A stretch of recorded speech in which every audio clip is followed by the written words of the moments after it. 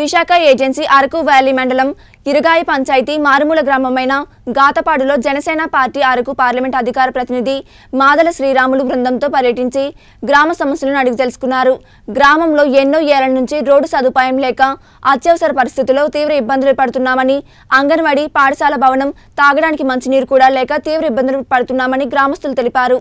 ప్రభుత్వం తక్షణమే స్పందించి గాతపాడు గ్రామంలో రోడ్డు కనీస సౌకర్యాలు కల్పించాలని ఈ సందర్భంగా డిమాండ్ చేశారు. లేని పక్షంలో గ్రామస్తులతో కలిసి పోరాటం ఉధృతం చేస్తామని ఆగ్రహం వ్యక్తం చేశారు. ఈ కార్యక్రమంలో జనసేన పార్టీ కార్యకర్తలు గ్రామస్తులు పాల్గొన్నారు.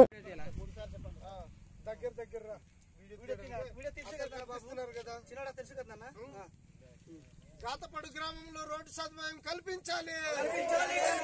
గాతపడు రోడ్డు గాతపడు గ్రామంలో రోడ్డు సౌకర్యం కల్పించాలి. గాతపడు గ్రామంలో రోడ్డు సౌకర్యం కల్పించాలి. అరకువేలి నియోజకవర్గం ఇరిగై పంచాయతీ మారుమూల గ్రామం అయినటువంటి గాతపడు గ్రామంలో ఇరిగై నుండి గాతపడు గ్రామానికి తొమ్మిది కిలోమీటర్ దూరం ఉంది. సరైన రోడ్డు సదుపాయం లేక అరకువేలు మండల హెడ్ క్వార్టర్లు ఏ పని ఉన్నా రావడానికి చాలా ఇబ్బందులు గురవుతున్నారు. అదే విధంగా ఏదైనా కష్టం వస్తే గాని గర్భిణీ స్త్రీకి హాస్పిటల్కి తీసుకురావాలన్నా చాలా కష్టతరంగా మారింది.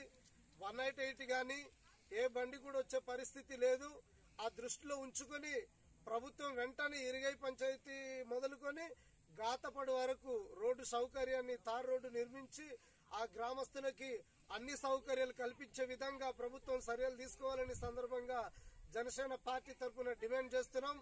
అదేవిధంగా పండించిన పంట సుంకరమేట సంతకు గాని అరుగు గాని తీసుకొచ్చి అమ్మటానికి కూడా వీల్లేని పరిస్థితి. ఆ రోడ్డు చాలా దారుణమైన పరిస్థితి ఉంది. అరకువేలికి వెళ్ళాలంటే తడక వరకు నడుచుకుని రావాల్సిన పరిస్థితి ఈ రోజు ఏర్పడింది. చాలా మంది హాస్పిటల్కి రావడానికి కూడా భయపడుతున్న పరిస్థితి. అటువంటి గ్రామంలో రోడ్డు సౌకర్యం లేకపోతే ఏదైనా పెద్ద కష్టం వస్తే చనిపోవడమే తప్ప బతకడానికి వీలు లేకుండా పోయింది. అందు గురించి ప్రభుత్వం వెంటనే స్పందించి గాతపడు గ్రామంలో తారు రోడ్డు సదుపాయం కల్పించాలని ఈ సందర్భంగా మేము డిమాండ్ చేస్తున్నాం. మరీ ముఖ్యంగా మేము డిమాండ్ చేసేది ఏంటంటే అక్కడ స్కూల్ బిల్డింగ్ లేదు సరైన రోడ్డు సౌకర్యం లేదు మంచినీటి సౌకర్యం కూడా లేని పరిస్థితి. ఈరోజు గాతపడు గ్రామంలో నెలకొంది గనక ప్రభుత్వం వెంటనే ఆ గ్రామాన్ని సందర్శించి ఆ గ్రామ పరిస్థితులు తెలుసుకొని వారికి మౌలిక వసతులు కల్పించాలని ఈ సందర్భంగా మేము డిమాండ్ చేస్తూ ఉన్నాం. స్కూల్ బిల్డింగ్ పరిస్థితి చూస్తూ ఉంటే రేకుల చెట్టు మట్టితో కట్టిన ఒక నేల మీద కూర్చొని చదువు చెప్పవలసిన పరిస్థితి ఈ రోజు ఏర్పడిందని సందర్భంగా మేము డిమాండ్ చేస్తూ ఉన్నాం. ఆ గ్రామంలో మంచినీటి సమస్య చాలా తీవ్రంగా ఉంది. ఈ శీతాకాలంలోనే అంత తీవ్రంగా మంచినీటి సమస్య ఉందంటే ఎండాకాలం వస్తే ఎంత తీవ్రంగా ఉంటుందో ప్రభుత్వం అంచనా వేసుకొని పంచాయతీ నిధులతో ఆ గ్రామంలో మంచినీటి సదుపాయం కల్పించి వారికి అవసరమైన రీత్యా రోడ్డు స్కూల్ బిల్డింగ్ మంచినీటి సమస్య తీర్చాలని ఈ సందర్భంగా జనసేన పార్టీ తరఫున మేము డిమాండ్ చేస్తూ ఉన్నాం.